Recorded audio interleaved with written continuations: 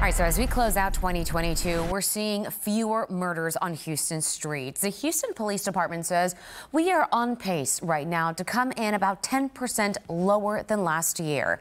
But yet many families are still struggling. The death of their loved one remains unsolved. And it comes at a time when the department is seeing a higher number of cases being solved, including one recent high profile arrest. And as KPRC2 investigates, Mario Diaz found out that is not sitting well for some. My condolences to the family, and my heart goes out to them because their child was murdered. But uh, to HPD, to everyone else, who, who, I'm trying to figure out who murdered my son. Marnita Hinton needs justice. Two years after her son, Christopher Mena, was shot dead in South Houston. Still nothing. Hinton says this is straight from Houston Police Department Chief Troy Finner. He's saying that they would uh, find my son murderer. You know, it's just going to take time. But, and like I told him, it's been two years now. How much time does it take? Lakeisha Everett is in the same position. This is my father. He was brutally taken two years ago, and we have yet to get any answers, any closure. It's been two years since her father was attacked and killed in his home.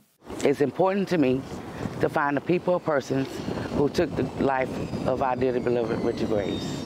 When we first started speaking with Lakeisha and Marnita about their cases, the clearance rate of homicides for Houston police was approximately 62%. Now, Chief Finner says his department's homicide clearance rate is at 82% when a suspect is identified and charged, like the suspect in the murder of Migos rapper Takeoff. The city announced the arrest of Patrick Clark last Friday, December 2nd, the 33 year old charged with shooting and killing the rapper at a private party in downtown Houston last month. Everybody took a role um, in this investigation. It makes me feel like, well, wh where do I stand in your place? Houston Police Officers Union President Doug Griffith says there is a distinct difference in the two cases. It has to do with the attention that the media plays. Once you get that kind of attention out there, people talk much more because they know what's going on, how important it is to the public. Tips are pivotal to solving homicides, but so are dollars in the eyes of law enforcement. They fund resources. The chief has also done a good job of trying to boost homicide division, get more people over there so we can clear these cases better. But the improvement also comes at a time when more overtime dollars have been poured into public safety by Mayor Sylvester Turner. Still, the so-called improvement is frustrating, according to Everett and Hinton. They are celebrities and you can have press conference for them. What about when my son was murdered? Did you have a press conference for me? No. They might not be a celebrity in the world's eyes, but they are celebrities in their family's heart.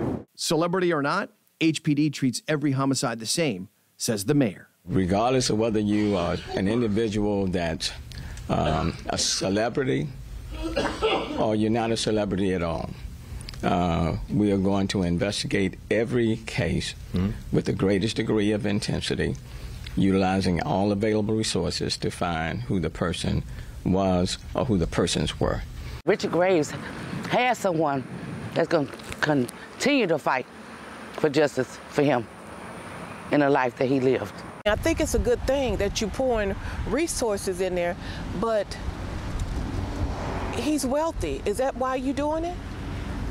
my son, we, we're not wealthy. You're not pouring a lot of resource into my child cases. So what's, what's with that? The police union president says he recognizes the importance for families to know they are being heard. So he is working with HPD on creating a better line of communication between investigators and those victimized by homicides. Mario Diaz, KPRC 2, investigates.